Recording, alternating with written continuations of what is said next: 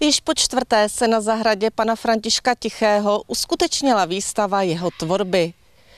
V letošním roce na návštěvníky čekala novinka. František oslovil ke spolupráci mimoňskou keramičku Lenku Vránovou a spolupráce se podle obou autorů vydařila. Jsem se dohodl tady s Lenkou Vránovou na tom, že jestli by nebyla ochotná se ke mně připojit a udělat tu společnou výstavu s tou keramikou.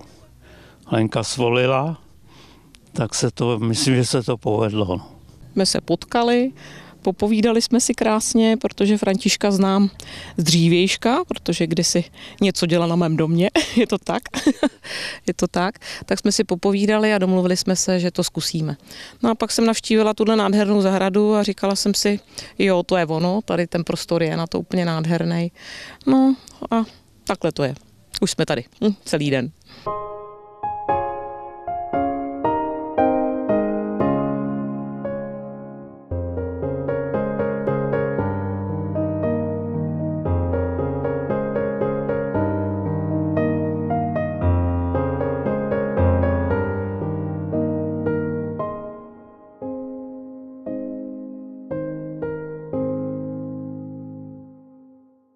Já si myslím, že František má velmi široký rozsah svých obrazů, jako od krajin, nádherných květin. A já se přiznám, že v té keramice ten hrostil mám taky od té přírody, ty květiny, všude se tady kolem nás jsou, až po ty zvířata, koně, sloníky, všechno, co tady vidíte. Není to teda všechno, co úplně dělám, to se nedá ani navíc, na to bych potřebovala teda asi velikánský nákladák ale myslím si, že se to líbí a že jsme to propojili s tou přírodou, že to je takový fajnový, příjemný. Tím, jak to tady všechno kvete, je to tady zelený a červený a růžový, tak si myslím, že ta příroda tady je nádherná. Nová díla tady jsou. Udělal jsem, já nevím, asi 20 obrazů, většinou teda hodně to udělám v zimě.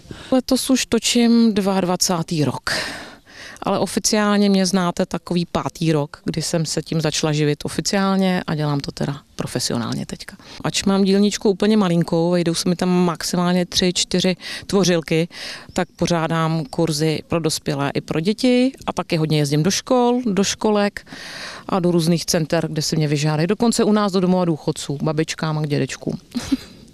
Z návštěvností jsem teda hodně spokojený, protože ráno tady byla plná zahrada lidí a je i teďka, jo, takže lidi odcházejí, přicházejí tady pořád plno, setkají se tady plno přátel, který se léta neviděli.